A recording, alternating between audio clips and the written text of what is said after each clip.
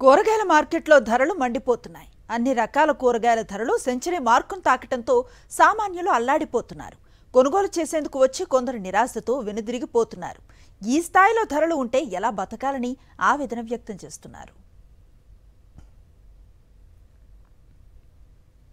కొండెక్కిన కూరగాయలు సామాన్యుల కష్టాలపై మరింత సమాచారం మా ప్రతినిధి పాషం అశోక్ నల్గొండ నుంచి అందిస్తారు. కూరగాయల్ని ముట్టుకుంటే ఆ చేయి కాలిపోయేటువంటి పరిస్థితి తలెత్తింది. ఏ ఒక్క కూరగాయని పలకరించినా కూడా దాదాపు వంద నూట యాభై రూపాయల కేజీకి ధర పలుకుతున్నటువంటి నేపథ్యంలోనే సామాన్యులపై తీవ్ర స్థాయిలో ప్రభావం పడుతుంది. గతంలో టమాటా ప్రతిరోజు మార్కెట్కి వచ్చేటువంటి ప్రతి వ్యక్తి కూడా టమాటా కొనుగోలు చేసిన తర్వాతనే ఇంటికి వెళ్ళేటువంటి పరిస్థితి ఉండేది. కానీ ప్రస్తుతం టమాటా కొనాలంటే ఆ గుండె జారిపోయేటువంటి పరిస్థితి లేనిది. ఆ ప్రస్తుతం సెంచరీ మార్కు దగ్గరికి చేరినటువంటి నేపథ్యంలోనే కిలో కొనుగోలు చేసేటువంటి వ్యక్తులు అరకిలో అరకిలో కొనుగోలు చేసేటువంటి వ్యక్తులు అసలు కొనకుండానే వెళ్తున్నటువంటి పరిస్థితి ఉంది. ఒకసారి మాట్లాడదాం. చెప్పండి రేట్లు ఎట్లున్నాయండి? రేట్లు కొనేటట్టు ఏం లేదండి. అసలు మేము రెగ్యులర్ క్యాంటీన్కి తీసుకెళ్తాం మాకు. కానీ ఇప్పుడు అసలు కొనేటట్టు ఏం కొందామన్నా కానీ భయం అవుతుంది బీరకాయ అడిగితే రెండు వందల యాభై రూపాయలు దోసకాయ వంద రూపాయల కిలో. ఇది బీరకాయ పది కేజీల రేటా? మీరు కేజీ రేటా చెప్పి కేజీ రేటు రెండు వందలు అంటున్నారు కేజీ. టమాటా మిగతా ఎట్లున్నాయి? టమాటా ఎనభై రూపాయలు అంటున్నారు దోసకాయ వంద రూపాయలు హాఫ్ కేజీ యాభై అంట అంటే మీరు క్యాంటీన్ తీసుకెళ్తా అంటున్నారు. ఈ స్థాయి రేట్లు పెడితే ఆ క్యాంటీన్ రన్ అవుతుందా? రన్ కావట్లేదు. సో ఇప్పుడు ఒక మరీ ఒక వన్ వీక్ నుంచి తీసుకుంటేట్టే లేదు అసలు.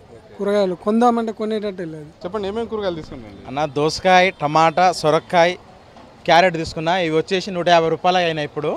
ఏదైనా సరే పావు కిలో వచ్చేసి ముప్పై నలభై రూపాయలు అంటారు కిలో కొంత మాత్రం ఎనభై అంటారు కిలోగిన ఏం చేసుకుంటాం? ఇంట్లో పెడితే ఖరాబ్ అవుతున్నాయి. ఇంత రేటు పెట్టి తీసుకొని ఇంట్లో పెట్టాలంటే భయం అవుతుంది ఫస్ట్ ఆఫ్ ఆల్ మాకు ఎందుకంటే ఈ రెండు దోసకాయలకి వచ్చేసి నలభై రూపాయలనా నలభై రూపాయలు. కిలో ఎనభై రూపాయలు అంటారు పావు కిలో నలభై అంటారు కిలో కొంతనే ఎనభై అంటారు పావు కిలో పా- అర కిలో తీసుకునే వాళ్ళకైతే చాలా ఘోరం అయిపోతుంది పరిస్థితి. ఇంకా పది రూపాయలు ఎక్స్ట్రా తీసుకుంటారు మార్కెట్లో ఇట్లా.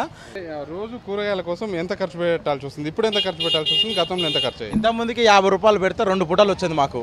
ఇప్పుడు యాభై రూపాయలు పెడితే ఒకసారి హాఫ్ డే తినడానికి రావట్లేదు. ఒకటే పూటకి సరిపోతుంది అనమాట ఇంట్లో ఐదు ఆరుగురు ఉంటే మాత్రం వాళ్ళ పని కథమే అన్న. అవసరం కష్టం చాలా కష్టం బతకడం మధ్య తరగతి వాళ్ళు బతకడం అయితే చాలా కష్టంగా ఉంది. ఏం తీసుకోకుండానే వెళ్తున్నాం ఏం లేదు సార్ తీసుకునేటట్లా. మొత్తం రేట్లు ఫుల్ ఉన్నాయి.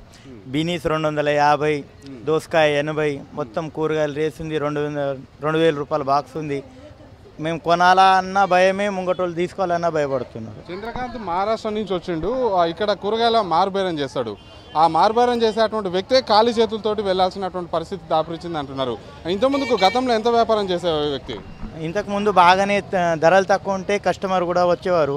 ఇప్పుడు అస్సలు కస్టమర్ రావట్లేదు. ఎవరైనా చికెను మటను చేపలు అంతే తింటున్నారు తప్ప కూరగాయలు మాత్రం పోవట్లేదు.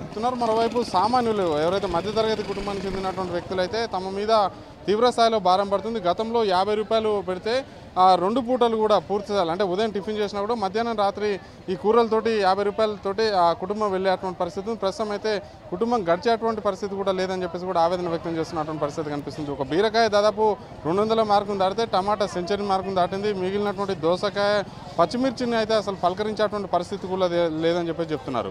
మొత్తంగా ఇటు ప్రభుత్వం అయితే ఖచ్చితంగా ఈ కూరగాయల ధరల్ని అదుపు చేయాల్సినటువంటి అవసరం ఉంది సామాన్యుల్ని ఆదుకోవాల్సినటువంటి అవసరం కూడా అయితే ఉంది.